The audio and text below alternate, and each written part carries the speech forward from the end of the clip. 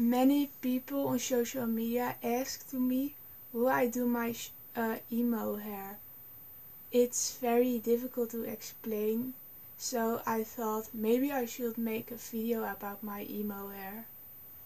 I'm a very shy girl and I've never speak English ever before, so I'm trying this. I'm giving you the best tips about my emo hair and in the end of the video I will show you who I do my emo hair.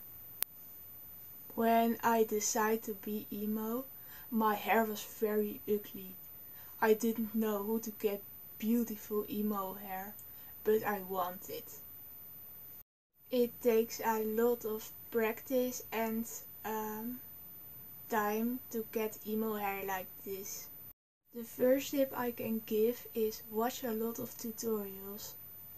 In the beginning it will look strange, but that's okay.